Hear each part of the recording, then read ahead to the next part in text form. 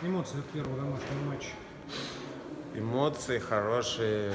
Вечером игра, поле идеальное.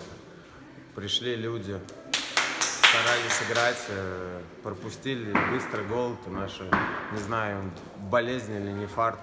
Получаем всегда в начале, потом тяжело. Ну, владели всю игру, считаю, преимуществом. Э, Моментов много имели. В принципе, ничего сопернику не дали в первом тайме, кроме гола создать. И и во втором, по большому счету, моментов у них не было. Э, Чуть не дожали, не хватило.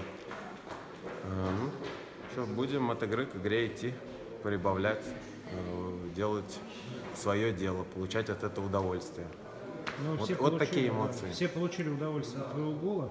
Э, честно, видел, что вратарь начал движение за стенкой другого? Нет, просто стенка стояла, думаю, да близко перекидывать тяжело. Э, Решил пробить в угол вратаря, потому что там закрывали ему вроде как обзор. Ну, главное было сильно попасть, в принципе, получилось. Ну как пережили э, 2-8? Тяжело, тяжело пережили. Считаю, э, проиграли. Э, в первый тайм играли с Араратом на равных. э, 2-2 было, потом получилось удаление. В принципе, очень спорное, которое сломало игру. Сразу у них получилось забить. И мы, конечно, так нельзя, но мы рассыпались.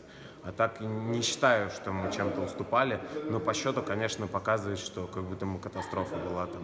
Ну, было большое желание реабилитироваться при домашних трибунах, тем более дерби с Химками. Считаю, ничья, но могли выжить больше из этого матча.